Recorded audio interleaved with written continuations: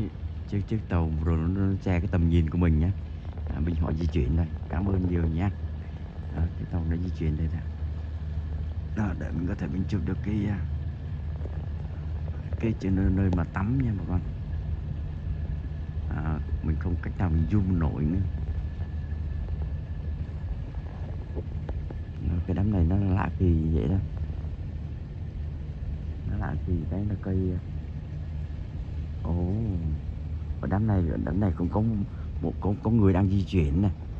Như vậy là cái cái cái cái, cái cát này có thể là cát thiên nhiên mà con. Cát thiên nhiên. À, cát thiên nhiên chứ không phải à, người ta bồi đắp gì ha. À, cát thiên nhiên nhưng mà nếu mà cái mà mà nó lạ kỳ cái là nguyên cái mấy hòn đảo này sẽ không có thấy cát. À, nhưng mà có riêng cái hòn đảo này nè.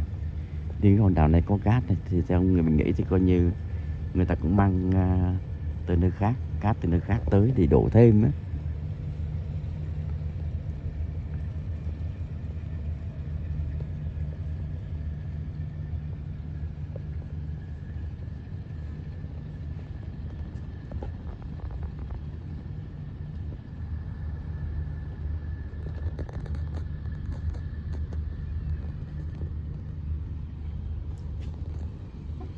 À, bây giờ coi à, có ánh sáng mặt trời tới đâu rồi.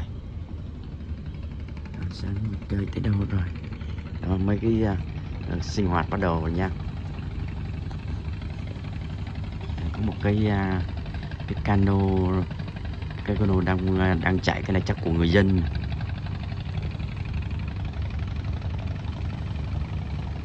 Đó, này của người dân chắc họ đi đánh cá. đó họ kéo theo một chiếc uh, chiếc xuồng nhỏ. Nhỏ kéo theo một chiếc xuồng nhỏ nhỏ. Cái này của người dân đi đánh cá. Ở trên đó thì con mình thấy có một cái cái vợt. Họ thấy mình thấy có một cái vợt là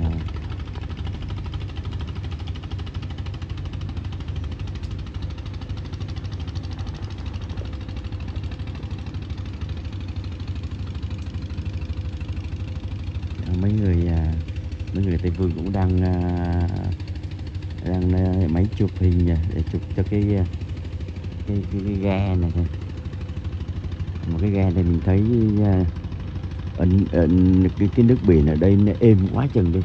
Xung chung quanh là núi hết trơn trọi. Chung quanh là núi cho nên cái đầu mũi giống như thấy ở miền Nam á, thì nó khác ở miền Nam. Cái đầu mũi nó không có nhọn à, để chạy sóng giống như, như ở miền Nam bà con. Thì cái này nó đi giống như trên mặt hồ trên sông vậy thôi. Oh, trước mặt mình đây có một cái cái hòn đảo nữa nè. À, trước mặt mình đây có một hòn đảo này cũng có cát nè.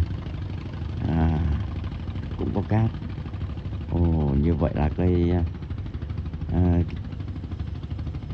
như vậy bao nhiêu bao nhiêu thấy kỹ thì cái, cái nọ thì ông trời cũng đãi ngộ cho những hòn đảo này có những đụng cát nho nhỏ để à, bà con có thể tắp ghe vô an toàn nha bà con. Ok rồi tạm thời mình ngưng máy nha bà con. Rồi bye bye nha.